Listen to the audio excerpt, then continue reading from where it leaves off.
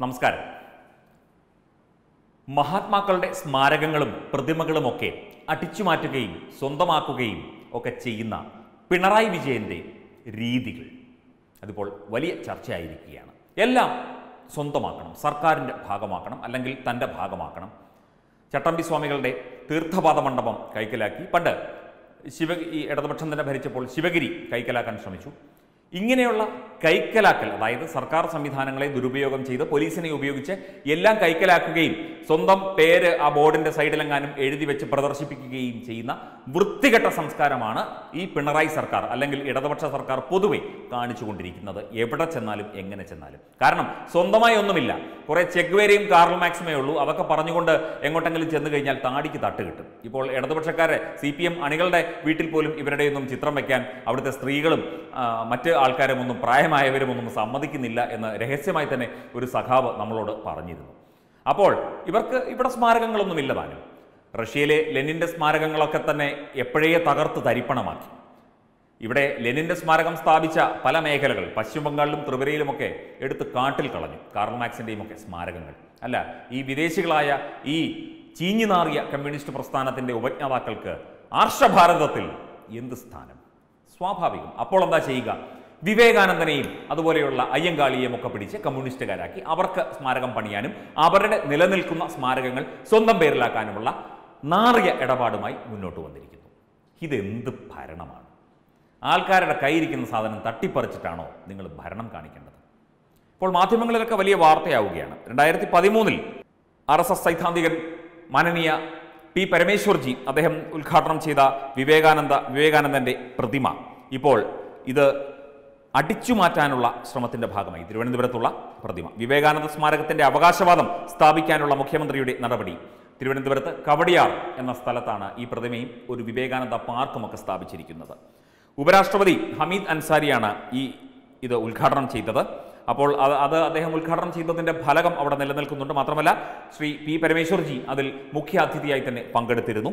അദ്ദേഹം അതിന്റെ ഏറ്റവും പ്രധാനപ്പെട്ട ഭാഗമായിരുന്നു. കാരണം വിവേകാനന്ദ സെന്ററുമായി ബന്ധപ്പെട്ടും വിചാരകേന്ദ്രവുമായി ബന്ധപ്പെട്ടും ഒക്കെ ഒരുപാട് പ്രവർത്തനങ്ങൾ ആ സമയത്ത് അദ്ദേഹം നടത്തിക്കൊണ്ടിരിക്കുകയായിരുന്നു. അതിന്റെ ചേർത്ത് വെച്ചുകൊണ്ട് ഇതും ഈ ഒരു ചടങ്ങിലും അദ്ദേഹം ക്ഷണിക്കപ്പെട്ടു. അദ്ദേഹം അവിടെ എത്തുകയും ചെയ്തു.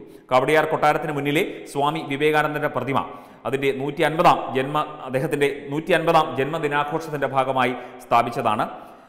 ഈ പ്രതിമ സ്ഥാപിക്കാനൊക്കെ ശരിക്കും മുന്നിട്ടിറങ്ങിയതും അത് സ്ഥാപിക്കുന്നതിന് വേണ്ടിയുള്ള നടപടികളൊക്കെ മുന്നോട്ട് കൊണ്ടുപോയത് പി പരമേശ്വർജിയാണ്.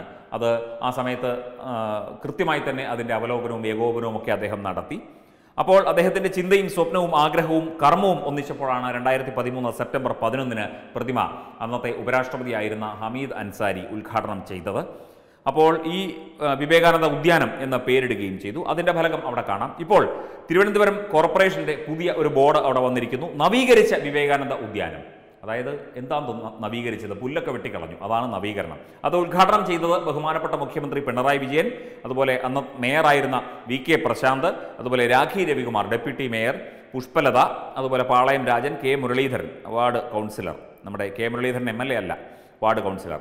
അപ്പോൾ ഈ രീതിയിൽ പുതിയൊരു ബോർഡ് സ്ഥാപിച്ചു. ഈ ഹമീദ് അൻസാരി ഉദ്ഘാടനം ചെയ്ത പ്രധാനപ്പെട്ട ബോർഡ് അതിനകത്തും ഇത് പുറം വശത്തുമായിട്ടാണ് സ്ഥാപിച്ചിരിക്കുന്നത്. അപ്പോൾ ഇങ്ങനെ ആദ്യം ബോർഡ് സ്ഥാപിക്കുക പിന്നെ കയ്യേറുക സർക്കാർ ഭൂമിയാണെന്ന് വരുത്തി തീർക്കുക എന്തെങ്കിലും ന്യായവാദങ്ങൾ റവന്യൂ ഭൂമിയുടെ എന്തെങ്കിലും ന്യായവാദങ്ങൾ പറയുക സ്വന്തമാക്കുക എന്നിട്ട് സ്വന്തം പേരിലാക്കുക. ഇതൊക്കെ ജനങ്ങൾ കാണുന്നില്ലേ? ഞങ്ങളൊന്നും പറയുന്നില്ല. നിങ്ങൾക്ക് നിങ്ങൾക്ക് വിവേകാനന്ദനെ ചുവന്ന ഉടുപ്പിടിച്ച് ചുവന്ന കൊടിയും കയ്യിൽ കൊടുത്ത് നിർത്തണമെങ്കിൽ നിങ്ങൾ നിർത്തിക്കോളൂ. നിങ്ങൾ ബാലഗോകുലത്തിന്റെ ആഘോഷങ്ങളെ ബാലസംഘത്തിന്റെ ആഘോഷങ്ങളാക്കിയും ശ്രീകൃഷ്ണ ജയന്തി ശോഭായാത്ര ഘോഷയാത്രയാക്കിയൊക്കെ മാറ്റി വൃത്തികെട്ട അനുകരണ നയങ്ങൾ പിന്തുടരുന്ന വൃത്തികെട്ട പാർട്ടിയാണെന്ന് ഇവിടുത്തെ ജനങ്ങൾക്ക് എല്ലാവർക്കും അറിയാം. നിങ്ങളുടെ സർക്കാരിലെ ഭരിക്കുന്നത്? വിവേകാനന്ദനെയും നിങ്ങൾ സഖാവാക്കും. വിവേകാനന്ദ ഉദ്യാനം നിങ്ങൾ നവീകരിച്ച് സ്വന്തമാക്കും.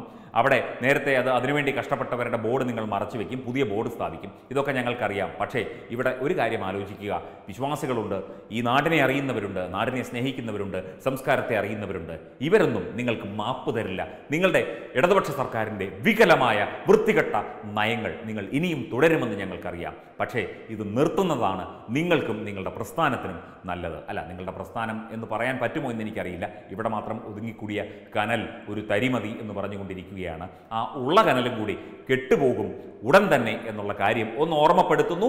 ഇനിയും ഈ ഹൈന്ദവ സംസ്കാരങ്ങൾക്കും ഇതുപോലെയുള്ള മഹാ മഹാന്മാരുടെ ആ ആ, സ്മാരക ശിലകൾക്കും സ്മാരക പ്രസ്ഥാനങ്ങൾക്കും ഒന്നും നേരെ നിങ്ങളുടെ ഓരോ തിട്ടൂരവും നിങ്ങളുടെ ഓരോ നിയമ പരിപാടികളും ബോർഡും അതും ഇതും പോലീസുമായി വരാതിരിക്കുന്നതാണ് നിങ്ങൾക്ക് അഭികാമ്യം എന്ന് മാത്രം പറഞ്ഞുകൊള്ളുന്നു. വെബ് ഡെസ്ക് പത്തുമൈ ന്യൂസ്.